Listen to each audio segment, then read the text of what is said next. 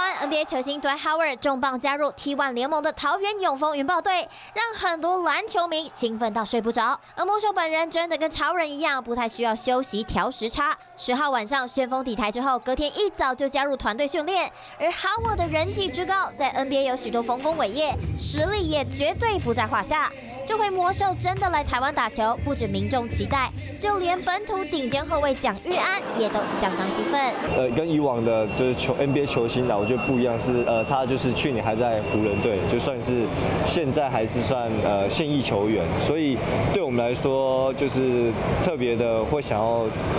对决他吧。我是希望我可以跟他换球衣，但是我就会被拒绝吧，没有啦。而且蒋玉安跟魔兽是同属一个直男联盟，接下来一定会在赛场上狭路相逢。小安本人也已经想好要对付 Howard 的作战计划，变成呃你进攻手段相当然你要多一点，那也或许要更多一些抛投一些呃技巧，呃反正就是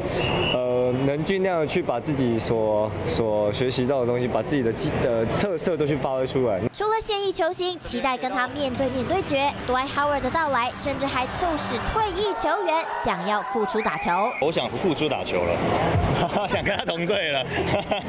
没有了，但是因为也退休蛮久了，不过我觉得他来到台湾是一件好事情了，对整体台湾篮球来讲，甚至对整个世界篮球来讲，也都能够看到台湾。对于球员们来说，Dwight Howard 来台是对篮坛发展有所帮助，让平常没有看本土直篮的民众愿意买票进场，甚至也能让国际看见台湾。华视新闻陈新顺、林春佩台北报道。